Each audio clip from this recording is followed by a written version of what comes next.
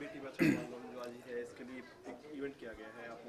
دیکھیے سر، میں آپ کو بتاؤں تو یہ اس میں تو کہنے کے لیے تو اتنا ہے کہ میں آپ کو دو گھنٹے تک بات کر سکتا ہوں۔ لیکن ایکچولی اس کا کوئی فائدہ نہیں ہے۔ تو مین چیز جو ہے، جو مدعا یہ ہے کہ بھیا بیٹی بچاؤ اور بیٹی بڑھاؤ۔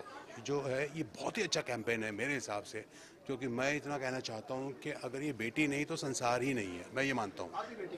سمجھا نا؟ میں آپ کو بتا دوں میں اپنی حقیقت بتا رہا ہوں آپ کو۔ میری بیٹی ہے کہ اس کی شادی ہوئی۔ اس کی شادی ہو گئی اس کے بعد ایسا لگا گھر سونا ہو گیا۔ کیونکہ جس گھر میں بیٹی نہیں ہے یا جس گھر میں عورت نہیں ہے سمجھے نا؟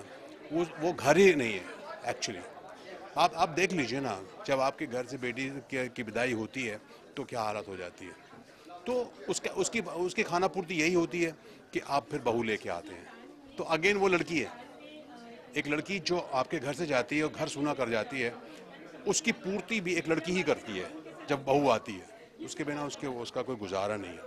تو میں سمجھتا ہوں کہ وہ لوگ جو لوگ اور اچھا یہ سب سے بڑا پرابلم کیا ہے؟ ہمارے ہاں مین جو پرابلم ہے وہ یہ ہے کہ ہر کوئی چاہے وہ باپ ہو یا ماں ہو فرینکلی اسپیکنگ سب لوگ چاہتے ہیں بیٹا ہو۔ سب سے بڑا پرابلم یہی ہے۔ لیکن کیا ہے کہ آپ سمجھتے نہیں، لیکن دھیرے دھیرے دھیرے دھیرے میں یہ سمجھتا ہوں کہ بڑے شہروں میں یا جو پڑھے لکھے لوگ ہیں، جو پڑھے لکھے لوگ ہیں، ان میں یہ بات نہیں ہے۔ آج بھی میں ایسے کتنے لوگوں کو گنا سکتا ہوں جن کی جن کی ایک ہی بیٹی ہے، صرف ایک ہی بیٹی ہے اینڈ دے آر ہیپی انہوں نے کہا، نہیں بھائی، ہم کو ہمارے یہی بیٹا ہے یہی بیٹی ہے۔ فیملی پلاننگ کے حساب سے میں بات کر رہا ہوں۔ تو ہمیں یہ لگتا ہے کہ چلو ٹھیک ہے ہر کوئی یہ چاہتا ہے، میں بھی یہ چاہتا ہوں ایک باپ ہونے کے ناطے کہ یار ایک بیٹا ایک بیٹی ہو جائے۔ تو لکیلی اوپر والے نے، اللہ نے جو ہے ایک بیٹا بھی بخشا ہے اور ایک بیٹی بھی دی ہے۔ تو in that case I am very happy but میں جہاں تک uh, بیٹی بچاؤ اور بیٹی بڑھاؤ آندولن کی بات کروں گا، میں اس سے بہت ہی، میں اس کے سپورٹ میں ہوں۔ And I stand for this کہ بیٹی کی جتنی، اور میں یہ، بلکہ میں یہ بھی سمجھتا ہوں کہ اگر سب سے زیادہ تم اگر کسی کی توجہ دو کسی کے بارے میں سوچو یا کسی کے لیے کچھ کرو تو وہ بیٹی ہونی چاہیے۔ یا